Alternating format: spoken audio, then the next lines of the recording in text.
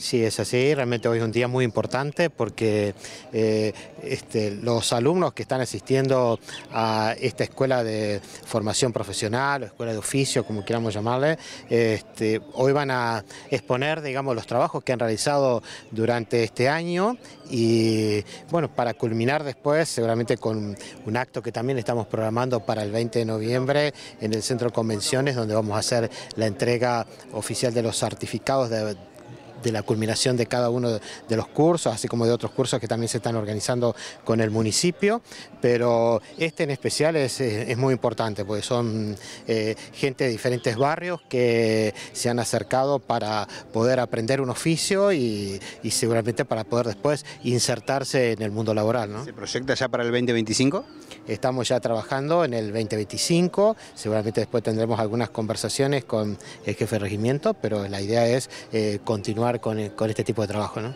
Intendente, bueno, la importancia de la capacitación, de la formación, como decía recién Carlos Gato, es pensando en la inserción laboral, pensando en un mejor futuro para las familias que, bueno, serán beneficiadas con este tipo de, capacitaciones. Así es, bueno, apostando por la cultura del trabajo, la cultura del esfuerzo, del mérito, llevando herramientas eh, a nuestros ciudadanos para que puedan desarrollar un proyecto de vida para que no tengan que depender de nadie, para cortar con esas cadenas, digamos, que el populismo, que el asistencialismo ha, generado.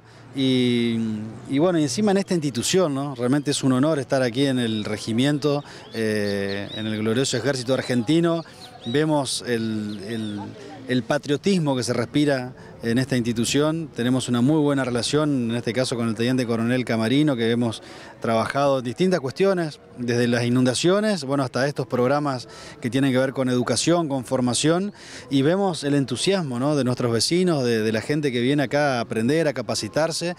Eh, y, y estos son oportunidades, le estamos dando herramientas para que tengan oportunidades en la vida, para que puedan bueno, trabajar para que puedan salir adelante y para que no nos deban nada. Nosotros no queremos que les deban favores a los políticos, queremos darles herramientas y que después, bueno, a través de su esfuerzo y su sacrificio y su mérito, bueno, puedan salir adelante. Un, orgullo y una satisfacción porque sabemos que estamos colaborando y aportando en la formación de los ciudadanos que han desarrollado los diferentes talleres, lo cual eh, nos llena de orgullo. Por lo tanto, hemos puesto y tratado de estar a la altura de las circunstancias, aportando medios eh, humanos, materiales, en esta formación que, como decía el señor Intendente, es tan importante para poder desenvolverse en el ámbito laboral.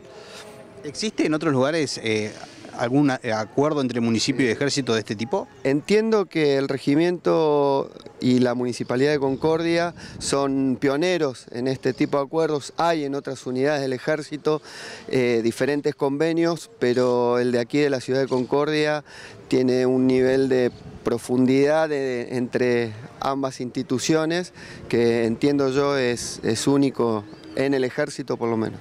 ¿Conformes con lo enseñado por ustedes durante todo el año? Por supuesto que sí, siempre, cada año deja experiencias nuevas que buscan mejoras para los futuros talleres del año que viene, pero sí, por supuesto, muy conformes porque el comportamiento de los ciudadanos ha sido sobresaliente, la comunicación con el municipio también, así que más que conformes con lo realizado.